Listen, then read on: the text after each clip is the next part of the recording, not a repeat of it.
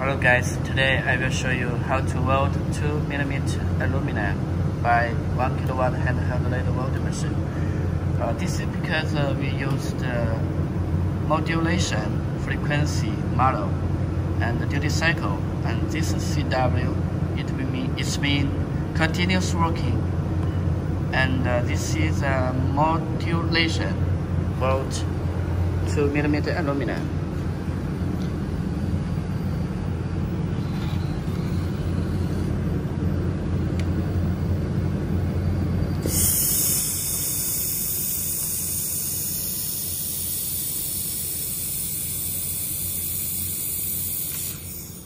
Okay, let's go to see other side.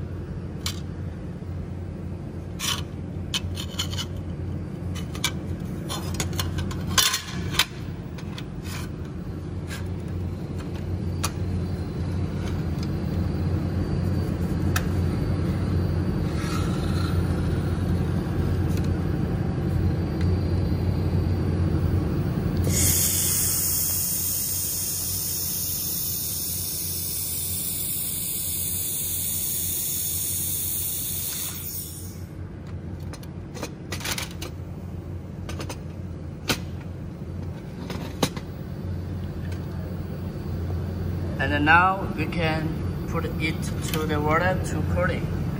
After we use the hammer, after use the hammer to test the weld result.